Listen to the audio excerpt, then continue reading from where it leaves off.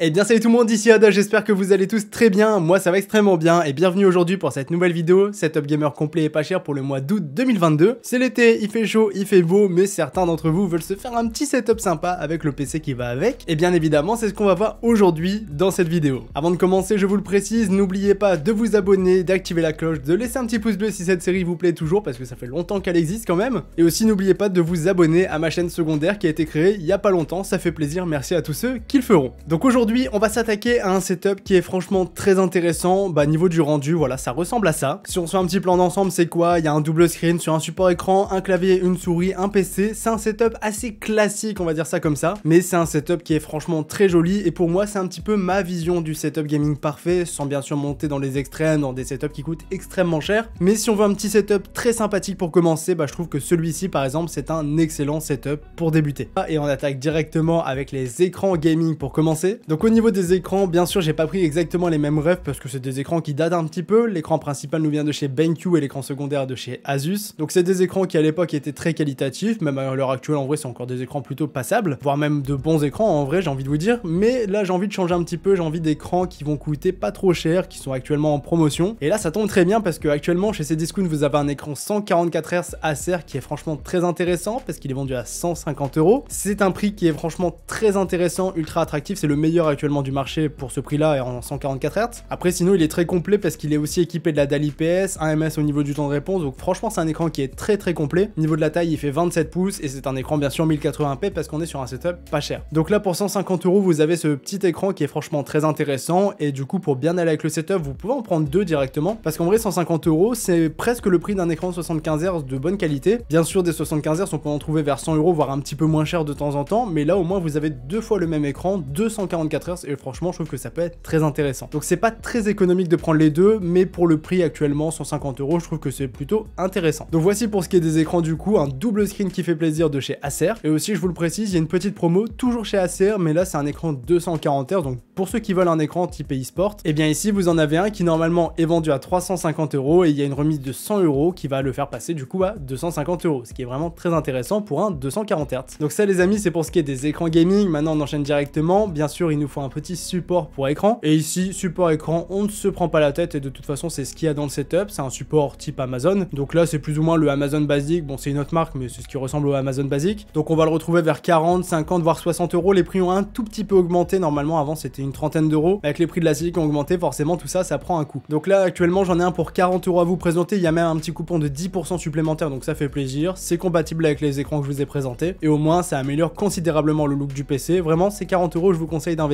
parce que franchement, c'est beaucoup plus joli. Et surtout, si vous voulez mettre l'écran, bah, comme sur la photo, à la verticale, là forcément, vous êtes obligé de passer par là. Ensuite, il y a un point qui m'a vraiment intrigué sur ce setup directement. J'ai vu les écrans et seconde chose que j'ai vu, c'est le tapis de souris. Il est clairement incroyable, je, pense que vous êtes d'accord avec moi. C'est un grand tapis de souris, donc là, il faudra quand même un bureau assez imposant. Il faut pas un tout petit bureau, sinon ça fera bizarre. Mais là, c'est vraiment un grand tapis de souris qui est super joli. Alors, je l'ai trouvé à la vente, mais malheureusement, il est plus en stock. Donc, je vous mettrai quand même le lien si jamais il revient en stock. Mais du coup, bah voilà, je vous mets le site sur lequel il est vendu. Vous pouvez regarder, il y en a d'autres qui sont disponibles. Et un modèle à peu près similaire, même si je le trouve beaucoup moins joli, j'en ai trouvé un aussi sur Amazon. Voilà, au moins ça fait 15 euros et celui-ci, il était vendu à 20 dollars. Voilà, tapis de souris, bah je vous mets ça en description, mais malheureusement, celui de l'image qui est franchement très joli, moi, moi je voulais l'acheter pour moi, bah il est plus disponible. Ensuite, on a parlé tapis de souris, mais on va pas tout de suite parler du clavier de la souris, on va tout de suite passer sur le côté droit où on voit le casque gaming. Donc déjà, on voit le petit support de casque, ça c'est cadeau. C'est le moins cher d'Amazon, il est vendu à 9 euros. Enfin, 9,99 euros, 10 euros, comme vous avez compris. Et c'est même celui qui me sert dans mes vidéos. Vous me demandez souvent lequel j'ai. Bah là, c'est celui à 10 euros. Je me suis pas pris la tête, ça suffit amplement. Donc ça, c'est pour le support de casque. Ensuite, au niveau du casque, je vous ai pas mis exactement le même modèle. Je vous ai mis un casque qui coûte moins cher et un casque du coup pas cher pour cette vidéo, qui est un setup gamer complet et pas cher. Et du coup, pour le modèle du casque, j'ai choisi de partir sur du Logitech avec le G435 Lightspeed, donc un casque qui est sans fil. Et ça, franchement, c'est très bien parce que niveau du prix, je vais vous le dire tout de suite, il vaut une cinquantaine d'euros. Il vaut exactement actuellement 53 euros sur Amazon et franchement,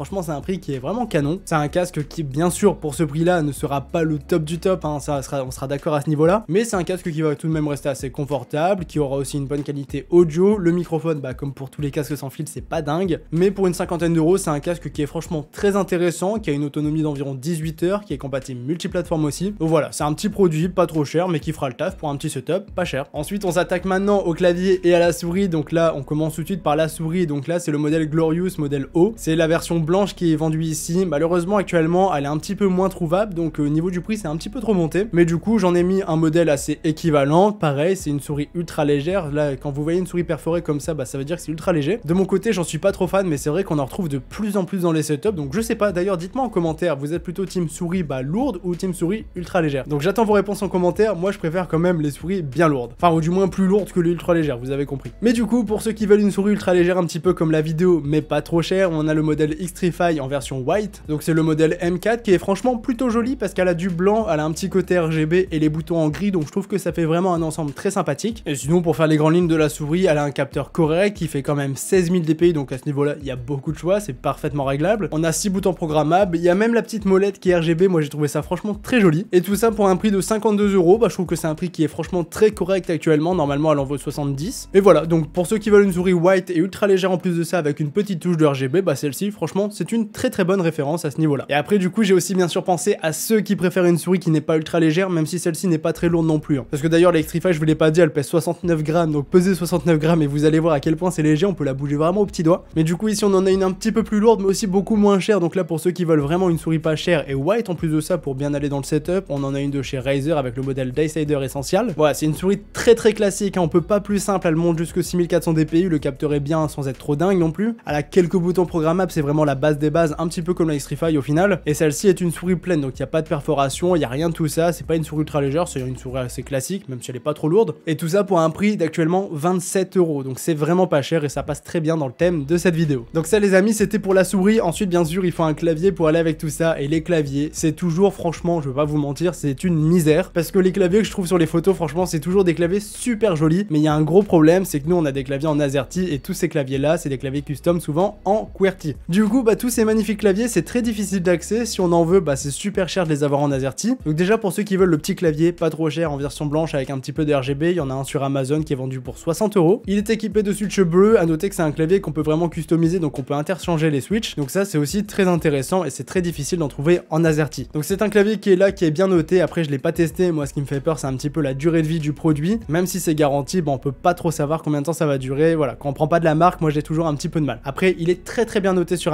Donc voilà, je me suis dit pourquoi pas quand même le mettre dans cette vidéo parce qu'il est vraiment pas cher. Et après pour ceux qui veulent un clavier de marque qui aura aussi très bien avec le PC gaming, bah j'en ai trouvé un de chez NZXT, c'est des claviers qui font depuis pas très longtemps, hein, ça fait pas longtemps qu'ils sont commercialisés. Et du coup ici c'est pareil, c'est des claviers qu'on peut complètement personnaliser, donc le modèle basique il est vendu sur Amazon et franchement je le trouve très joli parce que le châssis est en blanc et les touches on peut les retrouver en noir et ça franchement je trouve ça très joli. Bon le châssis existe aussi en noir mais en blanc c'est quand même beaucoup plus beau. Et ce clavier du coup c'est pareil, si vous voulez changer les switches bah c'est tout à fait possible.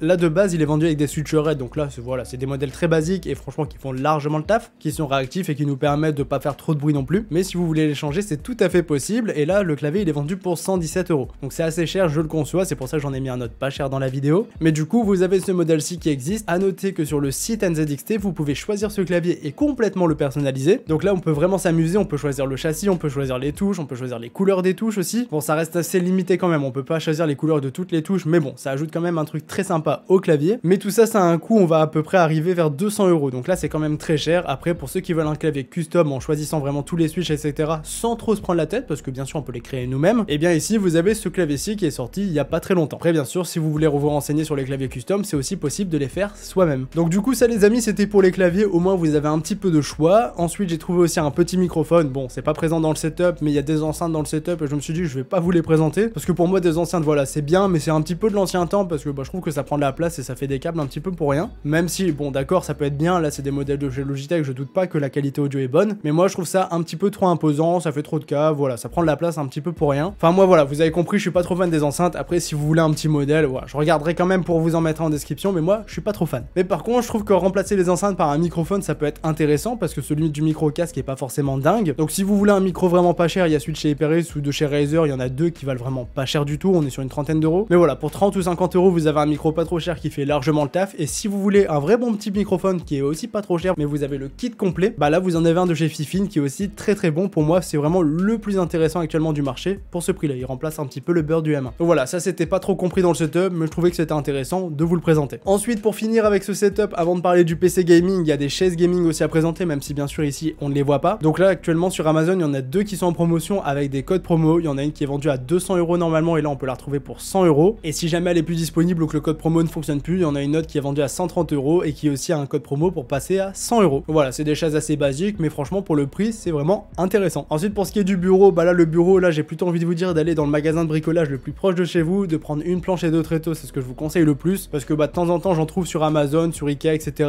Mais là voilà, j'ai rien trouvé de dingue, ou du moins c'est les bureaux que je vous présente à chaque fois, du coup voilà, je préfère vous dire d'aller voir dans le magasin de bricolage. Et si vous voulez, j'ai fait une vidéo tuto dans laquelle j'ai créé un bureau, pareil, je vous l'ai déjà présenté maintes et maintes fois, mais moi je trouve que le résultat est très Et pour un bureau, bah je trouve ça intéressant de le faire par soi-même parce que c'est pas très compliqué et le rendu est franchement très sympa. Donc ça les amis, c'est pour le setup dans son ensemble. Hein. Là le setup est vraiment bien rempli, presque terminé. Maintenant il nous manque la pièce maîtresse, le PC gaming. Et ici sur ce setup, qu'est-ce qu'on voit? On voit qu'on est sur un PC à base NZXT. C'est aussi pour ça que je vous ai mis un petit clavier NZXT pour faire un petit rappel. Du coup là j'ai fait un PC qui va ressembler à celui qu'on a à l'image. Après bah je sais pas exactement ce qu'il y a à l'intérieur. Mais j'ai pris un PC qui va ressembler en termes de look et qui est aussi une config très intéressante pour à peu près 1400 euros. Si vous avez moins budget que 1400 euros, bah j'ai fait ma chaîne secondaire et là j'ai déjà fait deux vidéos dessus, un PC pour 900 euros et un PC pour 1200 euros. Il suffit de changer le boîtier pour mettre un boîtier blanc. Si c'est une config PC, vous prenez le boîtier que je présentais dès maintenant parce qu'il vaut pas trop cher. Pour avoir vraiment le même look, il suffit de prendre le boîtier et le water cooling. Et après, si vous voulez d'autres vidéos, souvent je présente des PC déjà montés, bah là pareil, il suffit de changer le boîtier. Vous aurez pas exactement le même look, mais vous aurez quand même un PC qui va être super joli et vous pouvez bien sûr le prendre en version white. Donc je vous mets toutes les vidéos en description et je vous présente dès maintenant la config pour 1400 euros. Du coup, pour ce budget là, on peut se faire un petit plaisir. Là pour moi, c'est l'une des meilleures configs qu'on puisse se faire actuellement. Donc pour le processeur, on est sur un petit i5 12400F, un excellent produit. Celui-ci, je le vends vraiment parce qu'il est très très bien. On est sur un 6 core 12 threads qui est franchement très intéressant pour du gaming, mais aussi pour du multitâche parce qu'il a des bons petits corps. Voilà, c'est un processeur assez efficace. C'est pas le meilleur processeur pour du multitâche, hein. bien sûr. Ici, vaut mieux du i7 ou du Ryzen 7 ou voire même du i9 ou du Ryzen 9. Mais pour un budget comme celui-ci, on va se concentrer d'un petit i5. Ensuite, on se met un petit water cooling qui va être compatible à GA 1700, donc euh, compatible avec le processeur. On est sur un petit NZXT Kraken X53 en version RGB pour avoir un petit écran sympa. Au moins, vous aurez des températures assez correctes au niveau du look, bah, ça sera forcément très joli. Niveau de la carte mère, pour accueillir tout ça, on va partir bien sûr sur une B660. Il y en a beaucoup qui existent, la Gaming Geeks, la Tomahawk, des TUF aussi qui sont très bonnes. Ça vaut assez cher malheureusement, mais c'est les prix. Ici, on va quand même se mettre un petit modèle ATX, pas forcément haut de gamme, mais du milieu de gamme, ça sera très bien. Ça vaut déjà assez cher, on est proche des 200 euros. Niveau des barrettes de RAM ici, pour économiser un petit peu, j'ai pas mis des barrettes en RGB. Là, j'ai mis des Corsair Vengeance assez classiques. Mais bien sûr, si vous voulez des modèles RGB, vous pouvez bien sûr mettre des modèles RGB. Ça, c'est libre à vous de le choisir derrière. Mais du coup, ici, on se met 2 x 8 Go de RAM, 16 Go de RAM, 3200 MHz, sans casser, ce sera très bien. Niveau du stockage, on va se mettre un petit Crucial P2, comme ça, il est pas trop cher. On se prend 1 Tera en NVMe, les vitesses seront bonnes et bien sûr 1 Tera, on a de la place. Si vous voulez en ajouter, vous pouvez en ajouter, mais moi, je me contenterai d'un Tera pour commencer. Niveau du boîtier, on se met un petit NZXT H510 Flow, donc là, ça nous permet d'avoir un meilleur airflow parce qu'NZXT, ils sont pas forcément réputés pour l'airflow, mais là, avec la version Flow, ça sera toujours beaucoup mieux. Et du coup, le boîtier, c'est exactement celui qui est présent dans ce setup. Et pour finir, niveau de l'alimentation, en ce moment, il y en a beaucoup qui sont en promotion, donc on va se mettre une petite modulaire certifiée Gold de plus, parce qu'actuellement, ça coûte vraiment pas cher. Il y a les Corsair RM, par exemple, qui sont pas chers du tout. Pour finir avec cette config niveau de la carte graphique, c'est principalement ce qui va faire varier le prix. Donc vous avez le choix, 3060 Ti, 3070, 3070 Ti maximum, ou alors si vous voulez du AMD, vous pouvez par exemple partir sur une 6700 XT ou une 6650 XT qui est aussi très intéressante pour le prix. Donc voilà, on va être dans ces eaux-là pour les cartes graphiques, je vous l'ai toujours dit, si vous comptez faire du streaming, prenez du Nvidia ou même du montage vidéo, et si vous comptez uniquement faire du gaming, prenez ici du AMD. Donc ça les amis, c'est pour la configuration du PC, je vous l'ai dit, ça va revenir à peu près à 1400 euros, après si vous prenez une carte graphique un petit peu moins chère, on va plutôt tabler vers 1300 euros. Donc c'est un prix qui restera quand même assez intéressant je trouve pour ce PC qui est très complet et très joli. Bien sûr, il vous permet de faire tourner tous les jeux du moment sans aucun souci en 1080p, et si vous prenez de 3070 ou 6500 XT en 1440p aussi. Donc les amis, j'en ai maintenant terminé avec cette vidéo, j'espère vraiment qu'elle vous aura plu. Je vais essayer de vous mettre quelques éléments de décoration en bonus dans la description, donc n'hésitez pas à checker tout ça. Donc moi, comme d'habitude, c'était un plaisir, je vous mets tous les liens en description. C'était Yada, on se dit à la prochaine. Salut tout le monde